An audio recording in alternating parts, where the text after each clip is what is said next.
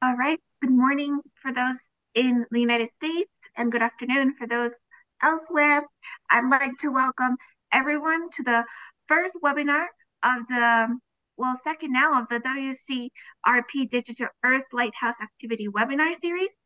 My name is Kelly Nunez Ocasio from the National Center for Atmospheric Research in Boulder, Colorado, and I'll be one of the moderators of today's event. The webinar series is part of the WCRP Digital Earth Lighthouse activity. The aim of this series is to help maintain more regular and open dialogue between researchers and users on the development and evaluation of kilometer scale global and large domain models across the world. We plan to hold seminars every two months spawning a range of groups working on kilometer scale modeling around the world.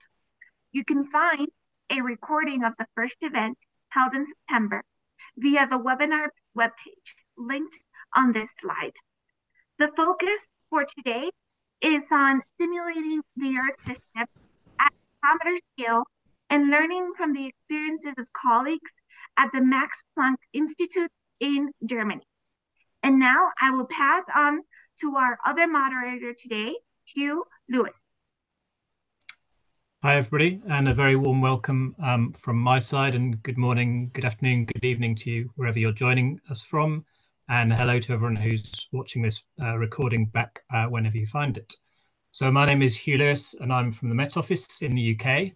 And before we introduce our speakers, just to provide an overview of some of the um, logistics and modes of interaction around um, today's event. So uh, we're delighted to welcome three speakers uh, to talk us through their work today. And while they're talking, please feel free to add your questions in the Q&A panel um, in your uh, in your Zoom setup at the bottom of this window. Uh, you can also use the the up voting thumbs up um, for any particular questions that you want to ensure that we cover in the time available to work through the Q&A uh, at the end of this session. Um, please reserve the chat function for any uh, kind of technical issues you may have. So um, start adding your questions as soon as you wish to in, in the Q&A box, please. Um, and in particular, this is aiming to be a really open um, opportunity to interact with the speakers. So please don't be afraid to add your questions.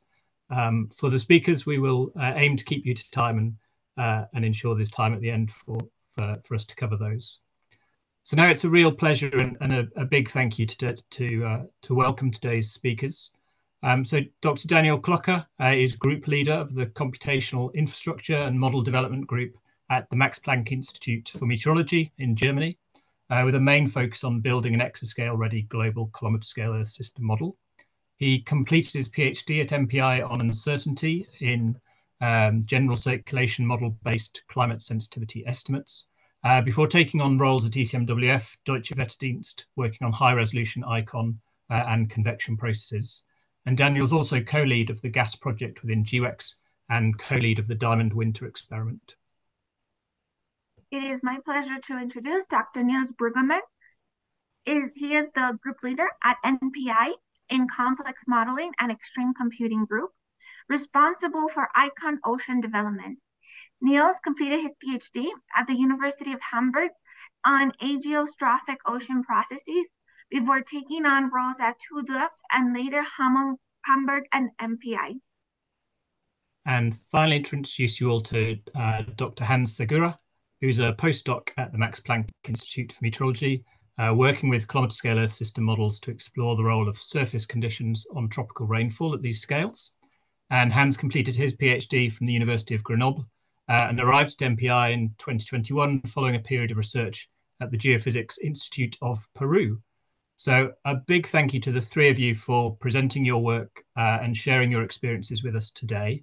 And really looking forward to your presentation on learning from simulating the Earth system at kilometre scale. And so, with that, um, Daniel, the floor is yours, yours to kick off. And thank you again. Thank you very much for the introduction and for the possibility for us to speak and present the work we are doing at MPI. Um, hang on, do you see my slides?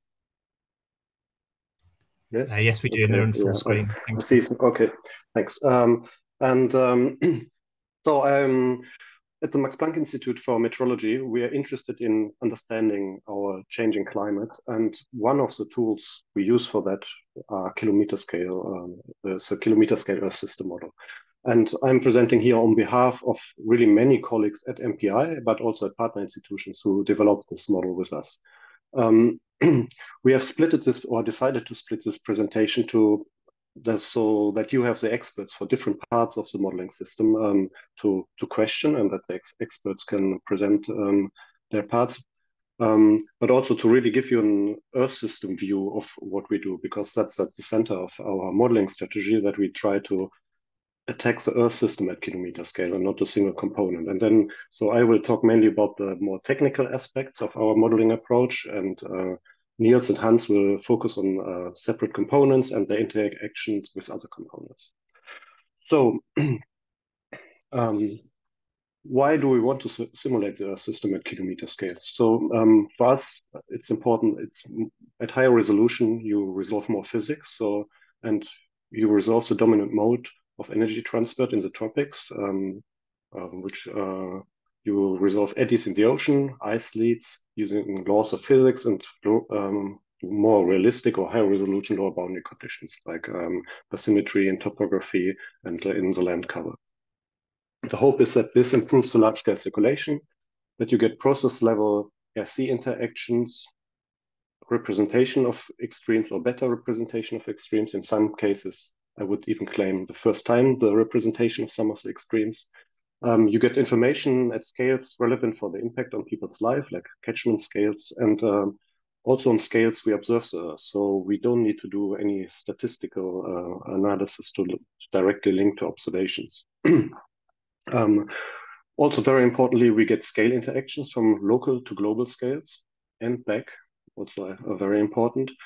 And also, what is very um, important for us is uh, we get essentially simpler models. We have less equations, less lines of code, at least from of the scientific code, which means also less bugs, less assumptions, and essentially simpler models, and making them much easier to understand. Of course, this part is simpler, but there's a technical aspects in terms of using high um, high performance computing. These aspects get more complicated. And also don't underestimate um, inspiration and uh, in communication, how these beautiful pictures you can generate with these kilometer scale models. At least for me personally, I draw a lot of inspiration and motivation from these simulations for my work. and what can they be useful for these models? So studies of convergence start to make sense. I mean, if you have a consistent modeling setup across resolutions. Uh, we can answer questions if we get consistent responses uh, to perturbation, at least in sign on climate regime scale. That's the hope. So, I mean, it's all questions we want to address. Um, in terms of ensembles, do we really sample uncertainty right with existing um, ensembles we have, um, which are mostly structurally similar models? So we would add another structurally different model to the existing ensembles. So if it behaves the same, it's very interesting. If it behaves differently, also interesting. So, so do we get any out of sample trajectories? Questions like, are current models overfitted and react too stable to perturbations? We can address and really fundamental questions. Will the rainforest collapse? Will we see major circulation shifts? Is the ITCZ structure stable? How will the monsoon margins change? All very hard to answer with the current models we use. but they're very important. And again, the fascination of our planet. We can visualize phenomena we see the planet, how we experience it. And this is um, very important for our motivation, but also the communication with people who don't have such deep insights. so, hang on, I have to move you because I have myself in front of the slides. So now go back. Um, so and in, in terms here um, on this slide, I show um, CMIP5 and CMIP6 models and how their resolution in the atmosphere and in, in the ocean was. So you see in the atmosphere resolution was around, I don't know, 160, 180 kilometers on average, this big cross in 2013 for CMIP5 models, and it uh, resolution increased to, to about 120 kilometers or so on average um, for CMIP6 models. and um, the first um, round of um, um, models which entered the first assessment report of IPCC, they had about around 500 kilometer resolution. So resolution increased, but not a lot. And at the meantime, um, the power of uh, computing power of um, computers increased a lot. So the top 500 list, which is often taken as a reference for the speed of computers, only started in 1993, and the first assessment report from IPCC was published in 99. So it doesn't go back as far, but the fastest machine at that time was the one teraflop machine, um, so floating point operations. And now we we entered the exascale era last year of, of computers. So that's a factor million. And in compute power, which is available, not all to us, but in general, if we take this as the measure of what also is available to us, that's about a factor million. And the question is, where, where did it go? Because if you take 500 kilometer resolution and you would always take a factor eight for halving the resolution, we would be able about to run like a two kilometer model um, taking the factor million of computations into account. So in refinement in the X and Y direction and um, the time step. Um, but of course, there are other things where you can uh, invest um, compute power in. So CMIP model refined resolutions slowly, but they did. Um, complexity, scenarios, ensemble size, simulation lengths, all these aspects were prioritized and also for, for very good reasons. but at the same time, climate modeling really ceased being a frontier application for new compute technologies, because um, at the time in the in the 90s, um, climate models were really the frontier applications for the newest and biggest machines, which is not the case anymore. So our strategy is now to we want to profit from this factor million in, in increased compute power. Um, and um, how we, we show this here on the y-axis, you have the ensemble members which can run at one simulated years per day, so the throughput. Um, that's kind of a measure when um, models become useful for climate um, applications uh, or questions. Um, and everything below that uh, we, we consider as like models which are used for process studies or very specific um, questions. And, that, uh, and then on the y-axis, we have the horizontal resolution, which goes from this 500 kilometers, which was used in the 90s, um, to, to one kilometer. So it represents kind of physics. So how much of the physics do we resolve and what needs to be parameterized? And then we have something called the computational frontier. So what can we actually do? Everything to the right top of that, that it's not achievable to us. So we, we, we cannot compute there. But um, to the left of, of this line, uh, we can compute. And um, CMIP, I, I, put here the black dots from the previous CMIP um, um, is, is, is, roughly there. So in this 130, 120 kilometer range in resolution, and we can run many ensemble members. The green dot is the, the average resolution of the high resolution, um, HighResMIP um, models. But uh, and there's uh, the limit of strong scaling. So that means uh, um, um, so when you increase compute power, uh, but but leave the problem you want to solve or the number of computations um, the same, and you you cannot increase on that for for a certain model. So that's a hard um, strong scaling limit. And if you want to move, if you have a, a model which is structured for for certain computations, if you want to move to higher resolutions, it's it's really hard to move along the line of the strong scaling limit. So our approach is that we build a new model where where we start off at the computational frontier or as close as possible we, as we can get, and also um, get a throughput which um, is applicable to um, for for climate simulation.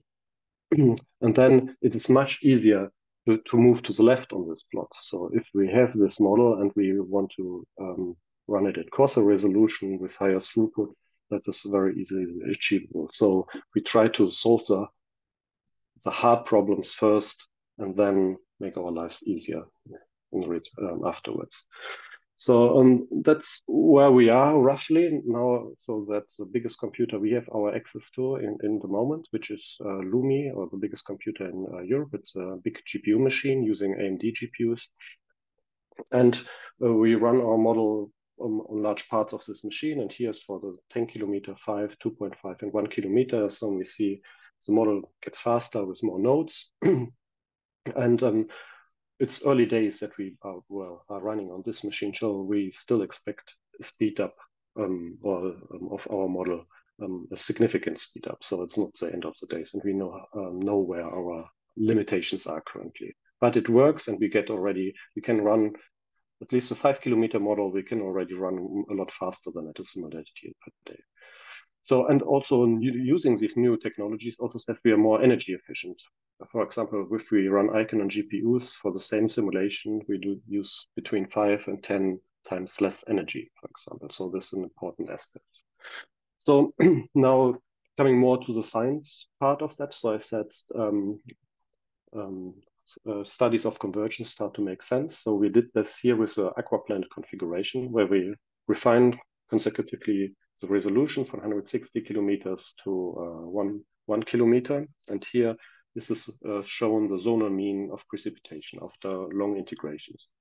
And we see the ITCZ, what we expect, it switches at some point from a single to double ITCZ. If that is right or not, we don't know. It's an aquaplanet. But uh, we are interested in where does the model converge to. And the position of the ITCZ kind of converges, which is symbolized with the crosses. And on the bottom, we also see the width of the ITCZ, which also converges towards one kilometer. But what is, what is more surprising that the, the, the storm tracks, which we expect coarser resolution models to do quite well, keep shifting also poleward with resolution. So there's a systematic poleward shift of the storm tracks with higher resolution, which was a surprise for us. And I think it's also a surprise um, from what we expect from our models and also the literature. So these are new questions which um, which which come up. Why is that if we represent the small scale processes that our storm tracks start to shift, start to shift?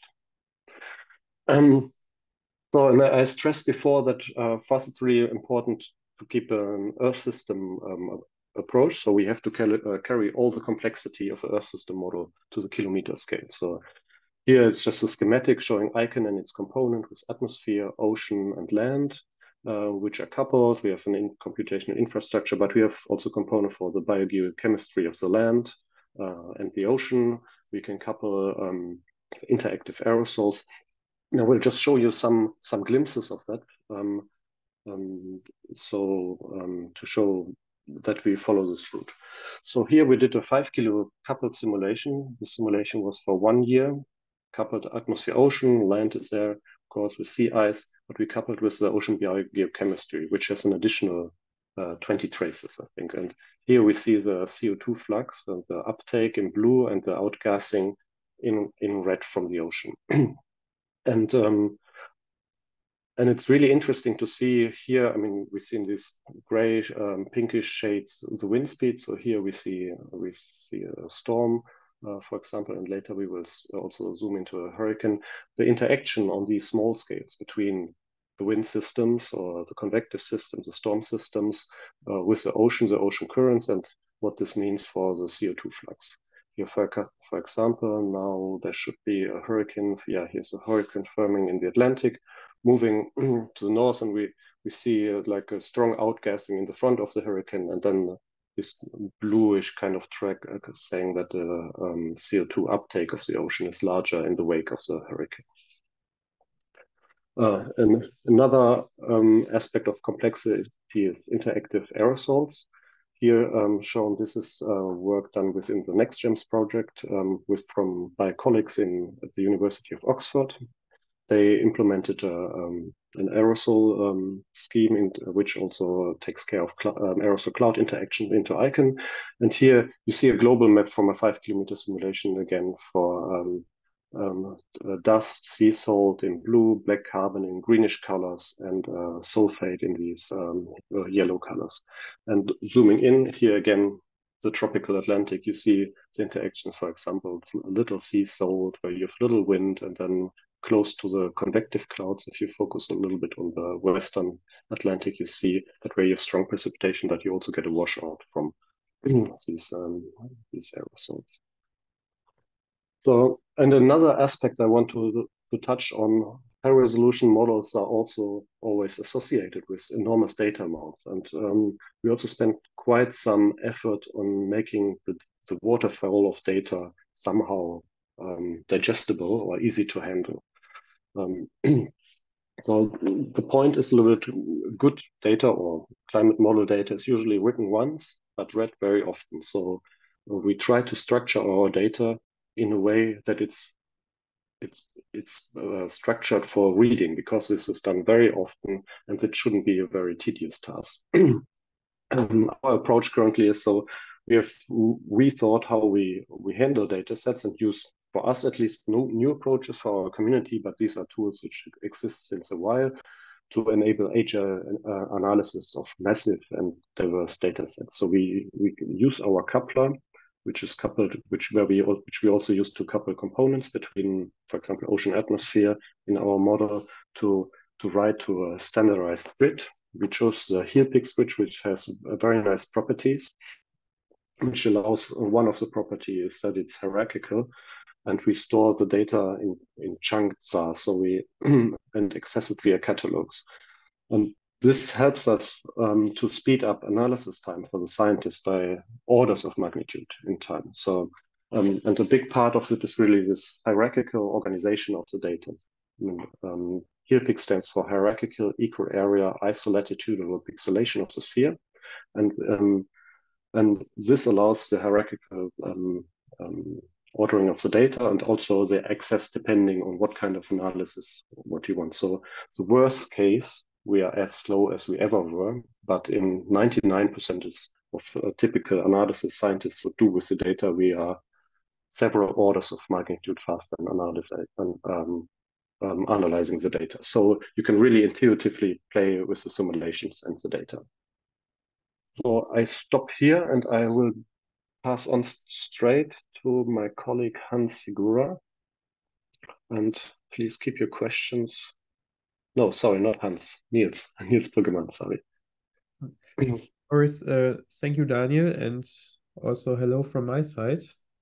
So let me share my screen. As Daniel said already, so a lot of these kilometer scale modeling is also about beautiful structures. And here I brought you some creatures from the ocean. So uh, what you see here is vorticity, but that's not the main purpose of uh, what I want to show. I just want to show how rich, uh, how rich actually the structure of these mesoscale and submesoscale phenomena can be, and um, yeah, how fun it can be to look uh, at all these these structures. And um, this guy here, actually, this is um, an Agulhas ring, and um, this is uh, one person that we will meet, or or one one creature that we will meet on the second next slide.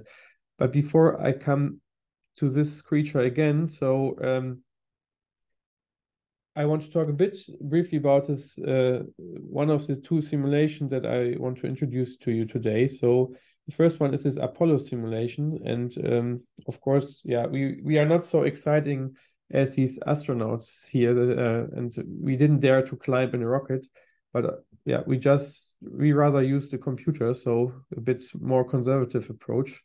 And uh, with this computer, we set up a model that runs at uh, that a horizontal resolution of roughly 1.25 kilometers.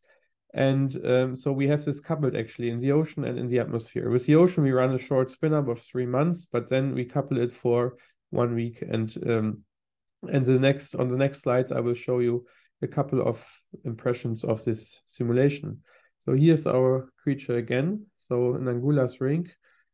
To the right, to the right hand side, you see the coast of Africa, and uh, so a lot of things that we that we learn about these um, or learn from these kilometer scale models are actually new questions. So, and one question is about eddy dissipation. So, um, you might have heard that that eddy dissipation is is one conundrum in the ocean circulation. So because it's if eddies are in, in geostrophic balance and it's not so clear how they actually can dissipate their energy because there are certain constraints which rather make the energy trans to be transferred to larger scales, but of course it somehow the energy needs to be dissipated. And One prominent candidate for this dissipation is uh, Lee wave generation. And in fact, what you can see here now on the lower panel, you can see actually that, that there are a couple of waves going off the center of this eddy when this eddy is crossing the Walvis Ridge, which it does here in this in this uh, figure. So um, one question that we try to answer now with this type of kilometer scale model is how much energy actually do mesoscale eddies lose to Lee wave emission, but also to other eddy dissipation processes. So another interesting aspect is um, sea ice actually. So uh, as Daniel has mentioned, so we also have sea ice coupled to our ocean model. And once you approach um, kilometer scale resolution, you see completely new structures in the sea ice. For instance, you see when you zoom in, you see leads and cracks in the ice, which you couldn't see in, in coarser simulations. And these cracks and and, um, and leads, they are created actually by winds, tides, and eddies, and uh, they are subject or they they feature actually strong heat loss of the ocean. And the question is now, how important is this actually? Is this um, major heat uh, is this a major uh, player actually in, in, for the Arctic and, and Antarctic heat budgets? Is it important for deep water formation? And that is something that that we also try to answer. Um, but this 1.25 kilometer actually that was not enough for all our purposes and questions. So let me now introduce to you a second type of simulation where we kind of uh, try to develop a telescope, uh, a telescope that allows us to that allows us to resolve submesoscale dynamics. And we again don't have this nice telescope as Galileo had at, at his time. We have just um, telescope that that rather looks like this. So here you can see uh, the horizontal resolution of our of our what we call this telescope or submesoscale telescope simulation. And we in this type of simulation we make use actually that ICON operates on a triangular grid and that we can refine the grid resolution. So here you see a very high resolution in the North Atlantic and uh, resolution actually, actually up to 530 meters. And then the resolution decreases gradually outwards. And so here, wherever we have the focus area, we can then now study the ocean with relatively or with actually with very high resolution and, and investigate um, yeah, interactions um, between processes within these areas. So, but we can we not only have one of these configurations, but we can actually like a carpet over a ball. We can we can shift this focus region, and we also set up a second simulation where the focus is now in the South Atlantic. And here, actually, where you see the black triangle, there was also research mission, uh, a cruise um, research cruise took place there and uh, we will see in the end some some data comparison between our model and um, and uh, and um, these uh, some observations which were taken there. So with this type of, of simulation, we actually are able to achieve even higher resolutions, although this is a rather regional approach compared to the global approach that you have seen before. So, but let me show you a bit how the situation looks like. Here you see uh, what I call the local Rossby number, so the relative vorticity divided by the planetary vorticity. You see the simulation where the grid is refined in the South Atlantic, and you see a couple of Agulhas rings coming around the corner here and propagating into the interior of the Atlantic. And uh, what you can see is that at the rim of these eddies, but also somewhere uh, north of these eddies, you see all these submesoscale structures. Also here, along the coast, you see actually, sorry, you see actually the submesoscale structures emerging and um, yeah, and it's actually quite fascinating to to look at these at these structures, but also fascinating actually to to see what these what these what these models or what what these eddies are doing. So, and one thing that we want to do is we want to learn actually about um, about typical parameterizations that are applied in coarser models. We want to learn how they are justified and how, yeah, or how our our fine resolution model can actually, um, yeah, capture these processes, and then how can how does it compare to these parameterizations? So here, this is from the submesoscale telescope in the North Atlantic, and um, there are several fronts um, depicted here. PhD student of mine, Moritz Epke, did this work, and he picked out um, these fronts in the North Atlantic, and in particular this front that you can see on the right-hand side. Um, he looked at the overturning. So as you might know that um, these these mesoscale fronts, they are often subject to baroclinic instability, and then you have submesoscale eddies in the mixed layer which overturn these fronts. And that is what he actually observed here. So it looks like a textbook example, but here in a relatively realistic simulation with realistic forcing and bathymetry and so on and so forth. And he investigated or he diagnosed the strength of this overturning for all these fronts and he is comparing this with typical parametrizations, what you can see here on the lower left. And now the question is how actually, how well can these parametrizations capture these, these submesoscale overturning? And it turns out that um, they're actually not too bad, although there's room for improvement. There's room for improvement. So, but these type of questions are, I think they are interesting that we have now a good laboratory for actually, or new laboratory even for, for evaluate parametrizations. Often that was done before with idealized configurations, but here in this more realistic setup, it is um, a bit more advanced because you have typically more processes compared to this idealized setups and um, yeah but you're also a bit more on yeah a bit more on the on the safe side that, that you actually have all processes or at least most of the processes which might be relevant for this um, for this dynamics. So another question is actually, and here comes the cruise data into play. So is actually how what what does these um, what does the eddies and the submesoscale structures how do they interact with internal waves and particularly internal waves generated by tides?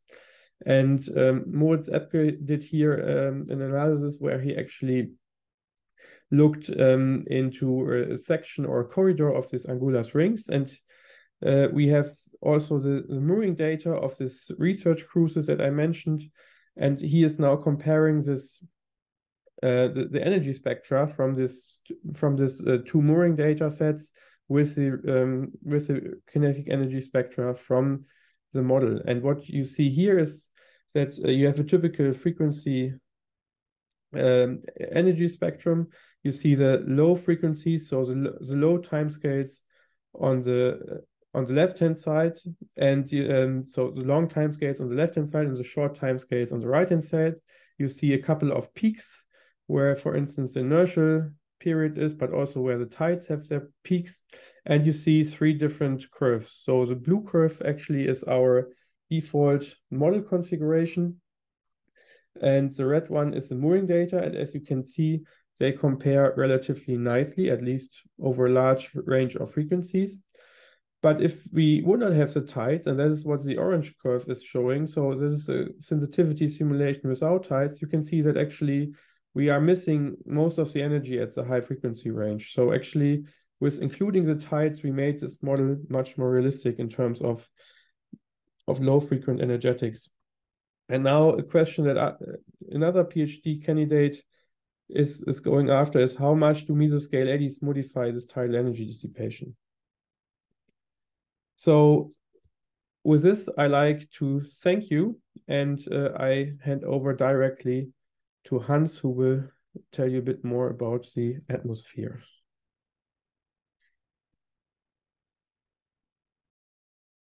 Yes, uh, back. Thank you. Do you see my, my slide? Yes, yes. cool. Thank you, Nils. Um, okay, uh, my name is Hans, Hans Segura, and I will complement what already have said by Nils and Daniels in the last presentations. But my topic is more, as Dean said, atmosphere and atmosphere ocean, atmosphere land also. Uh, I will talk about the what we learn about tropical precipitation when doing this uh, kilometer scale Earth model system. And for the tropical precipitation, I will focus mostly on the tropical rain belt, which is a narrow band of precipitation circumventing the equator, which plays an important role in the energy and water cycle. So um, from the tropical rain belt, I will focus most on the uh, structure of the tropical rain belt. So what we did is in our first version of the simulations, we integrate uh, this uh, simulation for one year. And then we calculate the annual mean of precipitation and then the quantity of this annual mean. And this is what you observe in the blue region here. So the area inside the blue region is the, where the regions where it rains more than quantity, and that's what I call the tropical rain belt. We did the same analysis with the uh, observational part. So we took 20 years of IMERG um, we do the annual mean of the climatology, calculate the quantity, and then you observe here the blood contour. And when we compare this to simulation and observation, we figure out that there is quite a very nice match over the land, and some particular in oceans, like uh, in the Eastern Pacific and the Atlantic. But yes, we see uh, very uh, weird behavior in the Indo-Pacific region, we observe a double structure of precipitation, which is related to the double ITCZ. So we say, okay, we didn't figure out, didn't fix the double ITCZ by going to five kilometer resolution. But then say, okay, this relationship that we observe of the annual structure of precipitation, in particular over land, holds also if we go to the seasonal cycle. And this is very important because uh, already uh, classical models using convective parametrization are not good into simulating this seasonal cycle of the tropical rain belt. So we say, okay, let's do this step. So what we did is to track the tropical rain belt in different regions in the tropics, uh, over ocean and over land. And here is an example for South America. And the marker here indicates the position of the center of the tropical rain belt. And the colors here indicate how this tropical rain belt moves across the year for every month, from January and February in blue to November, December in red. We also calculate the area inside the tropical rain belt in South America, and this is indicated by the size of the marker. So small markers, small areas, big markers, big, big areas. So when we compare the simulation, which is here in cycle with solid lines, with the observational part, which is in a square with dashed lines, we realize that there is a, mostly a perfect match in what we observe between the simulation um, the observational part over the land. In particular, we can observe how it goes, uh, the tropical rain belt towards the south during the summer season, which is the monsoon season in South America, and also how it increases in size. So that's why you have B markers there. But when we go, we did this analysis to the ocean, we didn't get the same results. We observed that the model is way off of what the, the observational part is telling us in terms of the position of the tropical rain belt and the meridional and zonal migration. And this result is telling us that when we start to resolve convective storms, we are able to capture the coupling that exists between the land and the atmosphere. And it seems that this coupling is robust against what's happening over the ocean. This is a nice hypothesis, and but how we can prove this? And one way to prove this is to use other version of the of the model of the simulations in order to see if yes, there is a big change compared to the what we observed in our first version of the simulation or not. So we did these new versions because we want to improve the things what we observe over the ocean. Like uh, we modified the turbulence scheme, we modified the radiation, and also we added a new ocean module. And so what happened there? And this is the result. So here, what you are observing here is the annual mean of the precipitation of this new simulation for five years. And again, here is the structure of the tropical rain belt, which is the quantity of this annual mean of uh, five years of simulation. And what is very interesting is the land is not to change too much in terms of the area and the location, but what it really can surprise us is the way that the ocean changed a lot. So instead of having a double band of precipitation, as you observe here in the Indo-Pacific, we get or we got one single band which is good because it's kind of similar to what observation is telling us. But at the same time, it's telling us that the ocean is very sensitive to the model's uh, configuration. Um, so we say, okay, this is the annual cycle. Let's go to the seasonal cycle to see if also that handles. And then, okay, this is the result. We apply the same technique. But in this case, we have the solid and the circle is the old version of the simulation, while the square and the dashed line is the new version of the simulation. Again, is five years of integration of the model. And we observe that over the land, comparing these two simulations or new uh, with different uh, configuration, it's quite similar. So there are little difference there. But again, it's quite of the structure and the migration is quite, quite similar. But if we go to the ocean, we see a different picture. The tropical rain belt of the seasonality of the tropical rain belt have different characteristics. It's closing to the what is real, but it's not still what we observe with the satellite data. And this, again, this result is telling us that the terrestrial rain belt is robust against what the configurations we are using to the simulation. And that goes to the point that, and that's going to the point that um, by resolving convective storms, we can get this coupling that exists between the land and the atmosphere. But over the ocean, is more complicated. We cannot get this structure. And we were thinking about that, and we come up with there are different hypotheses for that.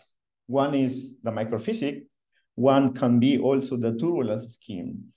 And the third player there is the air-sea coupling. And understanding the air-sea coupling by itself is very complicated. And I will tell you why it's so challenging. So so here I am showing you uh, three variables that are very important for the momentum budget in the upper part of the ocean in this air-sea interface, which are the winds, the ocean currents, and the mixing layer depth. We know that the winds are the most important source of momentum that can accelerate the ocean currents, but at the same time can deepen the mixing layer depth. So we took these three variables of, the, of our simulation for one region in the tropical Atlantic, and we obtained this figure. So what we you observe here in the y-axis is the ocean current velocity, and the x-axis is the wind stress. And the color bar is the mixing layer depth. And what we observe that with very strong wind forcing, instead of having a one-to-one -one relationship between the wind stress and the ocean velocity, we are getting a very deep, shallow mixing layer depth. But if we go to medium or very uh, weak uh, wind forcing, we can accelerate the wind. And in order to to explain this characteristic, we need to introduce one player for this game, which is the stratification. So what the stratification is doing is to prevent the mixing and making shallow the mixing layer depth. And at the same time, uh, converging all the momentum or keeping all the momentum in this very shallow mixing layer depth and giving the possibility to accelerate the ocean currents in the upper part of the ocean. And in the tropics, one way to stratify the ocean aside of the temperature is precipitation, because precipitation, which is low density because of the low salinity, can sharpen the profile of density in the upper part of the ocean and again, make hard for the mixing. So if this is the case in our simulations, we wanted to know how much should precipitate in order to stratify the upper part of the ocean.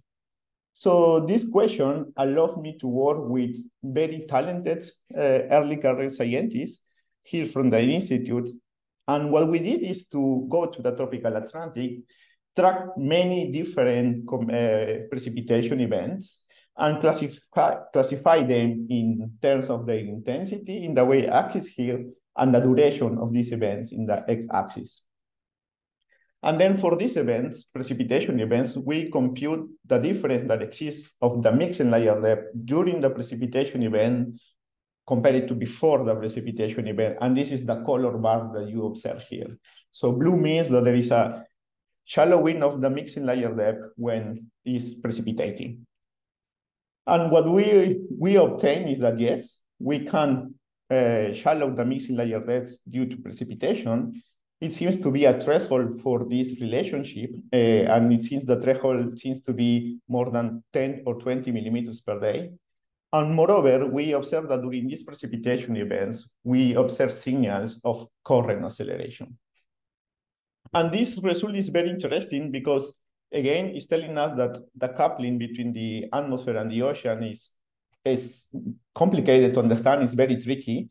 But also for the second part, uh, there are already observational studies telling us that indeed there is rain layers in the in the ocean that can accelerate the ocean currents due to the wind forcing and due to the, the stratification of the upper part of the ocean, which is telling us that oh, the simulations and can again capture this kind of relationship.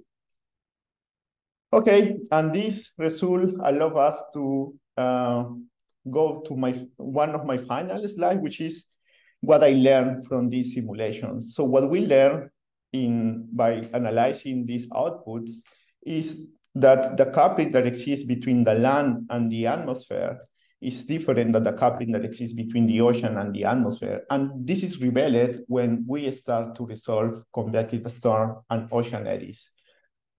And this statement pop-ups or raises two questions. One is why or what is the mechanism from the land to make it robust for the model uh, difference in the configuration of the model and also in reality, because we also analyzed this in the observational part and we found that the structure of the tropical rain belt over the land in observation is quite, have little variability on the interval time scale.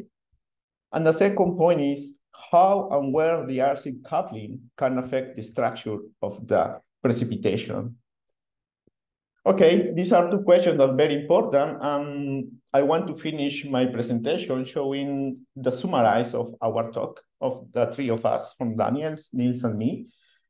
And we believe that may not be uh, us only, but the institute and with the people involved in the development of kilometer scale Earth system model, that this is a crucial milestone because of three things. The first one is that we can use now efficiently the resources from the new technology that we have in our hands.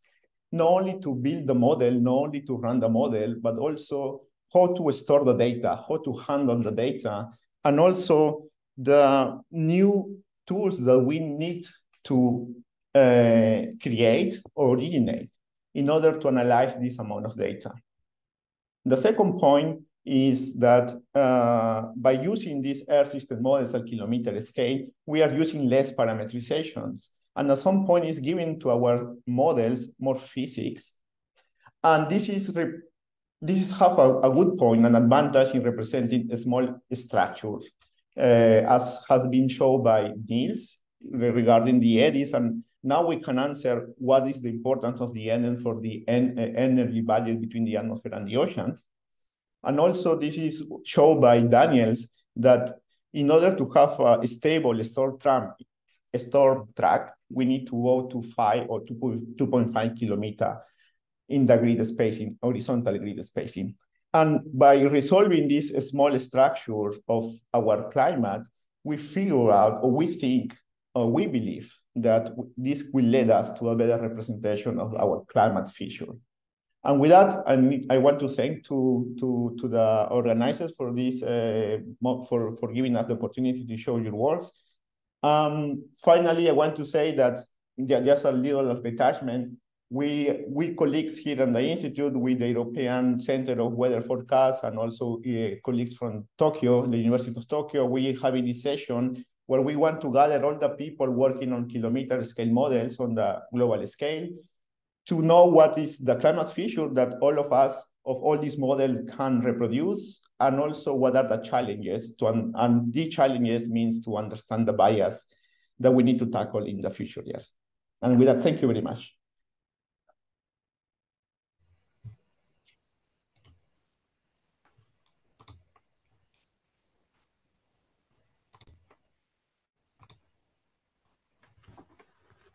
Okay, thank you so much um, to Daniel, to Nils, uh, and to Hans. Uh, a wonderful presentation showing uh, fantastic progress and um, some, as you described them, very inspirational um, impressions of the Earth system uh, at these resolutions for us to, to jump into. Um, if you have questions for any of our speakers, please use the Q&A um, panel at the bottom of the, the Zoom screen uh, to add your question. And then we've got some time now for uh, Kelly and I to, to work through those questions. A reminder as well, if you want us to get to some of the questions sooner than others, please use the uptick um, icon uh, on the Q&A panel and we'll try and try and get to them. Um, so with that, um, Kelly, if you're happy to kick off. Thank you. The first question comes from Sebastian. Can you give an example reference for an improved large-scale circulation in CRDCM as stated in slide two? I guess that's for me. It was my slide too. um, so I, yes, so I formulated with hope, but of course we have also many places where where this is true. But uh, actually, there was large hope attached to that we get rid of the IT, double ITZ bias, and Hans showed at least currently that's not the case. But he also showed examples where this is the case. So so there's one um, of the seasonal migration of the um, precipitation over land is one example.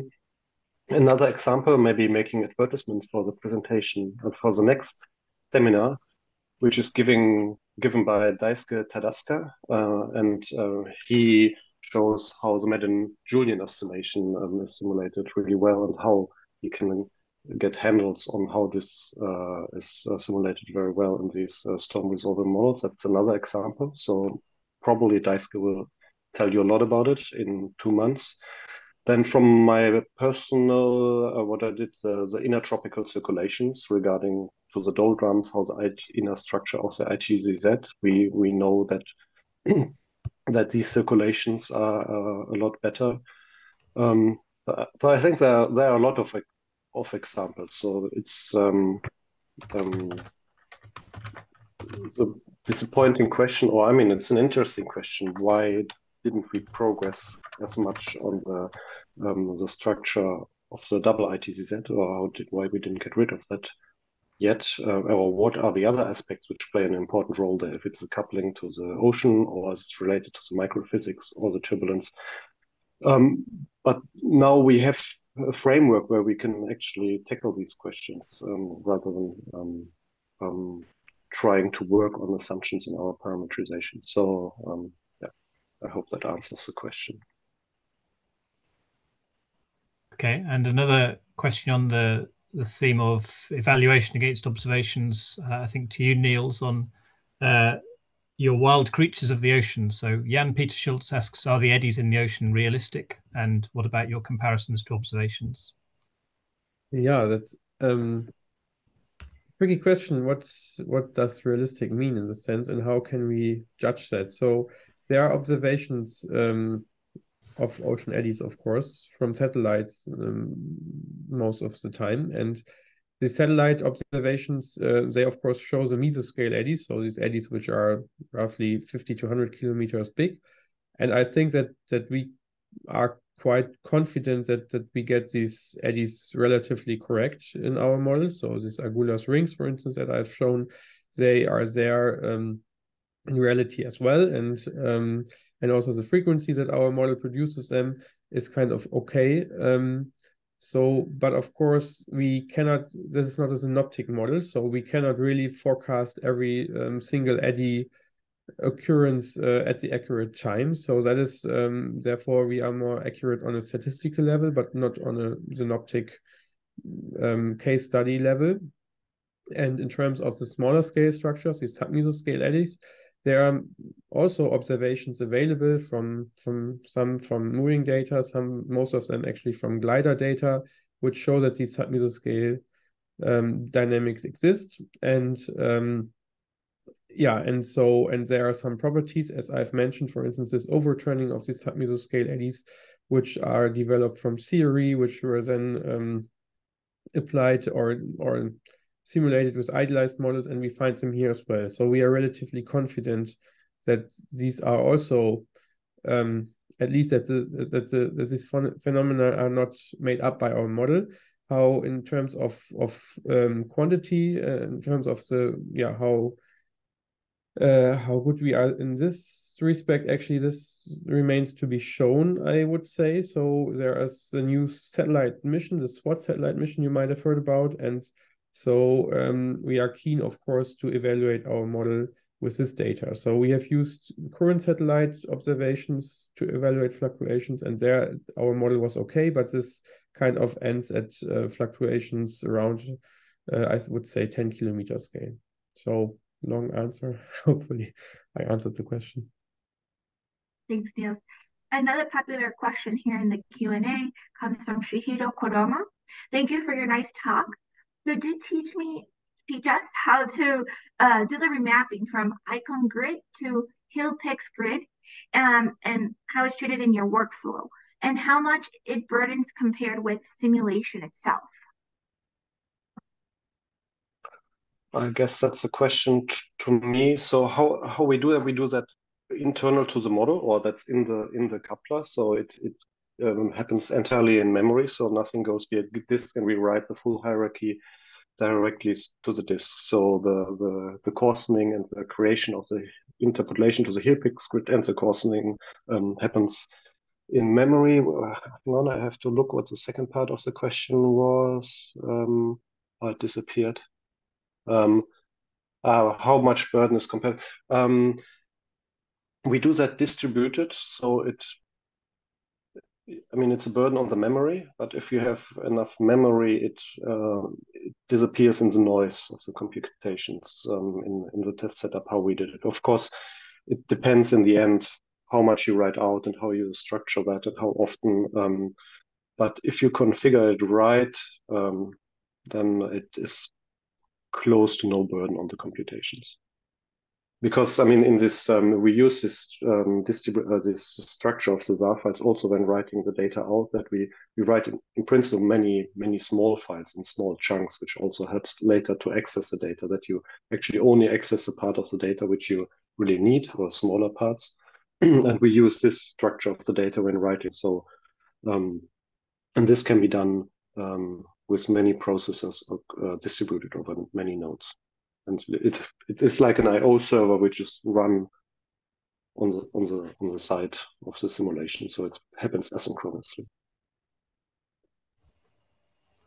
Okay, if the speakers are happy, we will keep going with the Q and A uh, a little longer, and if we run over time, then apologies if you have to to leave the the meeting. But uh, an important question from Eleftheria about how do these K-scale simulations compare with the coarser simulations in terms of their biases and drifts. And I guess an opportunity to return again to uh, your your slide two, um, Daniel, around this upscale feedback. So what what evidence do you have around that? Well, I mean, these models are new, so we haven't so currently, um, a little bit, we learned a lot when building those models, and that's what we try to convey a little bit. And so we are still in the learning process, and we have inherited parts of the model physics from models we ran already for decades. And um, we discovered errors in, in these parts, which always have been there in our previous generations of models. So um, and because we are still building the model and improving the physics and fixing errors, we did not tune yet. So, I mean, if we run a simulation now for longer time scales, it will definitely drift because, I mean, we we make sure that the top of the atmosphere radiate flux are, are kind of okay, but we don't spend too much energy to make it perfect because our simulations will not be very long yet. So that's something we have to address very soon um, to to get stable long-term integration. So this long-term, we are not there yet. So, but we we are working towards longer simulations, and then we need to address uh, these issues, and that goes goes along with biases. So currently, we we do simulations, and we we try to understand what we see and try to learn from that, and try to understand the model, um, and then try to improve it based on that, but we don't try to address systematic biases yet. So, and, and the question is then still also at this stage, the development, is a bias an implementation problem we did, or is it a systematic bias of this new generation of, of models? So is it something which all the other storm resolving models would share. So it's it's relatively early days, so but it's quite exciting, and we're also curious to know about the biases. But also, I mean, I, I want to add to that and say, for instance, in precipitation, I mean, and also many papers have already showed that in regional scale, in, in la, uh, spatial uh, scale in regional domains, that light precipitation, for instance, is already resolved going to storm resolving models and like uh, uh, no using convective parametrization. So I think there are many advantages like uh, going for this kind of new generation of simulations.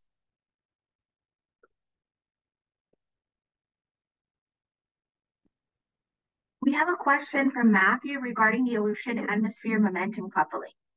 Wouldn't having a wave model affect this quite a lot, especially at high resolution strong wind speeds?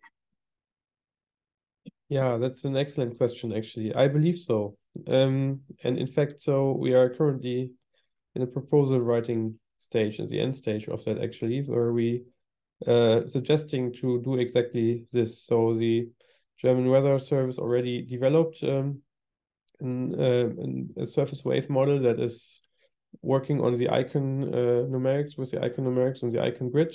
And now we plan now the next steps to implement this into um, into our coupled framework and to couple it to the ocean and to use, for instance, Stokes drift for Langmuir parameterizations, but also modify surface roughness, modify upper ocean transports, and hopefully doing this energetically consistent and uh, yeah so that's we have yeah we have large hopes in in, in this kind of of um, development actually.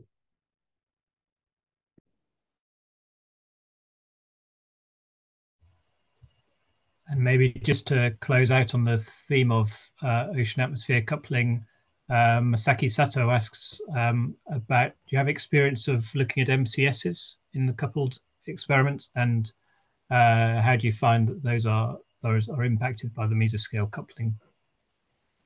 Uh, yes, uh, I mean, it's not, uh, uh, I wouldn't say an impact because we didn't compare. What we did is to analyze the mesoscale convective system in the, in the coupling uh, simulations with a master student from, from uh, France, Enora, and then also with the help of the people from Toulouse for track this MCS in these couple simulations. And we found that when I was talking about the rain belt, we found that in our simulations, 40% of the precipitation in the rain belt comes from MCSs indeed.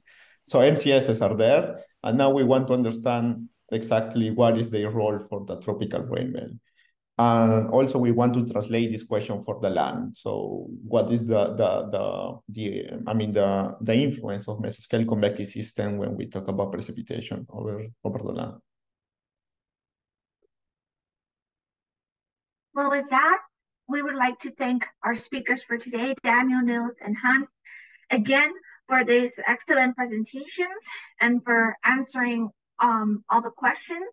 Many thanks to all of you online for your attendance and participation today um, in the chat and for posing very interesting questions. And if you have any feedback on today's event, it's very welcome. So we have uh, some email addresses hopefully on the screen here uh, for Kelly, myself, and also Rosie, who you may remember from uh, the first session, who uh, is currently away on uh, maternity. Um, and also very happy to hear from anybody who wishes to volunteer a seminar on a related topic for future events. You'll see from the web link uh, that we are lining up seminars right through uh, through next year already. So please get in touch directly if you want to uh, offer a talk to this series and hoping that the series is offering um, some value for, for you and, and to link up our, our investigations in, in this space around the challenges and, and research progress in uh, kilometer scale, global and large domain simulations. Next time, we're looking forward to uh, presentations from Dr. Daisuke Takasuka from the University of Tokyo in Japan on multi-year climate simulations with 3.5 kilometer mesh NICAM model. Um, advertisement and registration will be distributed shortly for that event.